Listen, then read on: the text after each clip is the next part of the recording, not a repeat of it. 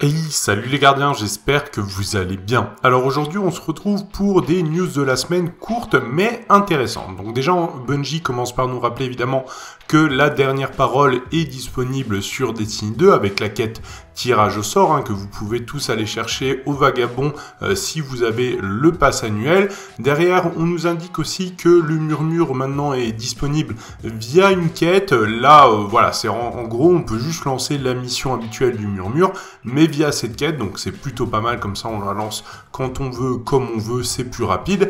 Euh, ils nous disent aussi que la mise à jour 2.1.4 est arrivée avec les modifications sur les armes, sur les super et ainsi de suite, mais on a déjà pas mal parlé de la sandbox donc je ne reviendrai pas dessus. Et on nous dit aussi que la saison de la forge suit son cours. Donc ça, c'est pas des nouvelles choses, c'est des choses connues. Par contre, au niveau des nouvelles choses, et eh bien tout simplement, on a euh, Steve Dolan, un design lead, et Marc Uyeda, un senior designer, qui viennent nous parler des clans. Les clans avaient été modifiés il y a un petit moment où euh, c'était plus en faisant des activités qu'on donnait de l'XP à notre clan, c'était en faisant vraiment euh, euh, des contrats de clans qu'on donnait de l'XP. Là, c'est fini on revient à l'ancien système et du coup euh, les contrats de clan du jour seront supprimés. On va repasser au contrat euh, de la semaine et on va faire gagner de l'expérience à notre clan euh, en, faisant des activités. Donc ça c'est pas mal. On revient aussi avec des contrats de la semaine où on va pouvoir faire donc les contrats de la semaine, il va y en avoir trois. Un pour le PVE, un pour le raid, un pour le PVP. Donc il y en a vraiment pour tout le monde. Ça c'est vraiment pas mal. On va avoir des nouvelles récompenses. Donc au rang 3, on va obtenir des composants de mode en finissant un contrat la semaine. Au rang 4, des matrices d'amélioration. Au rang 6, on va débloquer un quatrième contrat de la semaine. On ne dit pas euh, qu'il se qu'est-ce qui va concerner. Donc c'est intéressant à voir. Et surtout, si on obtient le rang 5 dans la saison 6, ça c'est très intéressant. Augmentation du taux d'obtention des catalyseurs dans l'épreuve et dans les assauts en jouant avec des membres de son clan. Vous allez me dire, oui, mais j'ai peut-être déjà tous les catalyseurs disponibles. Eh ben, il nous indique tout simplement qu'il va y en avoir des nouveaux dans cette saison 6. Donc c'est très intéressant, je trouve. Et c'est pas mal de, les modifications qu'ils font sur les clans. Moi, je les trouve agréables. N'hésitez pas me dire ce que vous, vous en pensez dans les commentaires. Ça va pas être exceptionnel, hein, faut pas non plus se surhyper à chaque fois, euh, mais clairement elles sont agréables, elles sont plutôt logiques et plutôt cool des petites modifications, ils appellent ça l'opération nettoyage, hein, deuxième partie, donc euh, tout simplement les clés éthérées du raid dernier vœu, maintenant la limite va être fixée à 5, donc si vous en avez plus, n'hésitez pas à vous dépêcher de les utiliser parce que vous risquez de les perdre, et pareil pour les contrats de la bannière de fer et euh, aussi, euh, non c'est seulement la bannière de fer, pardon, ils vont être mis à zéro pour la saison du vagabond, vu qu'il va y avoir de nouveaux objectifs, donc n'hésitez pas à les utiliser, sinon ils seront super euh, voilà, petit nettoyage, petit réajustement. J'ai hâte de voir ce qui nous prépare euh, pour la bannière de fer pour la prochaine saison.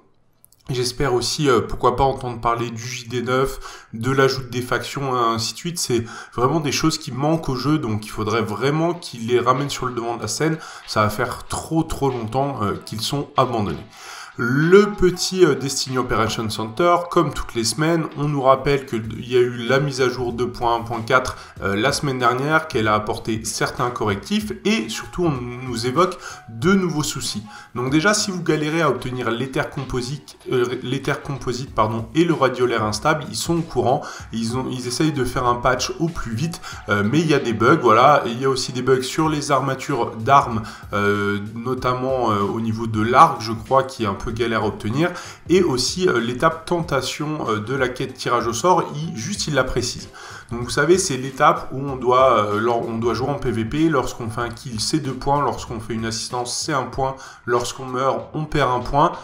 Clairement, moi, je la trouve beaucoup plus simple que certaines quêtes dans Destiny où c'était un kill, un point, une mort, on perdait un point.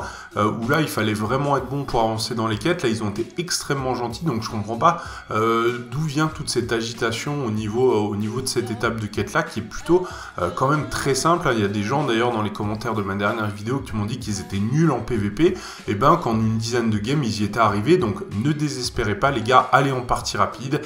essayez de tryharder un petit peu quelques games et vous allez voir, ça va passer. Pareil au niveau de l'obtention de la dernière parole dans l'étape de euh, dialogue de la quête tirage au sort. Euh, certains n'obtiennent pas euh, la dernière parole tout à la fin de la quête. N'hésitez pas à quitter la quête et à la recommencer en allant plus lentement apparemment, en progressant plus lentement. Vous allez l'obtenir donc je sais c'est un peu bizarre comme bug. Mais bref, n'allez pas trop vite pour faire cette quête dialogue. Les films de la semaine, un bon petit euh, montage qui s'appelle Riot, qui est vraiment très cool, avec euh, du titan solaire. Un autre montage que je trouve un petit peu moins bien, What's Up Danger. Euh, franchement, pas exceptionnel, mais voilà. N'hésitez pas à aller les voir, ils sont quand même toujours très très cool et ils font du bon boulot dans ces films de la semaine. Et on va finir tout simplement par le mot de la fin de DMG. voilà, une vie qui a 10 000 trucs à faire, il sait pas trop ce qu'il va faire cette semaine.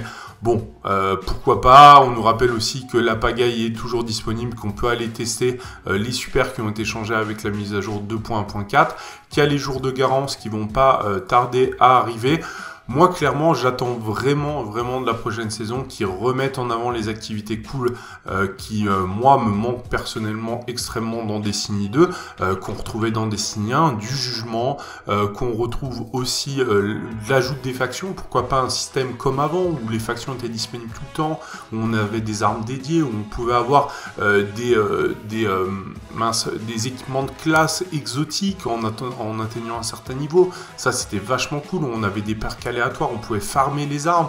Enfin voilà, tout ça c'est vraiment des choses qui manquent à Destiny 2 et il faut vraiment vraiment qu'ils se bougent pour le, pour le ramener, ça serait super sympa. Voilà pour ces news de la semaine, j'espère qu'elles vous auront plu. Si c'est le cas, n'hésitez pas à lâcher un like, à vous abonner à la chaîne si c'est pas encore fait. Nous on se retrouve très bientôt pour de nouvelles vidéos. Bye bye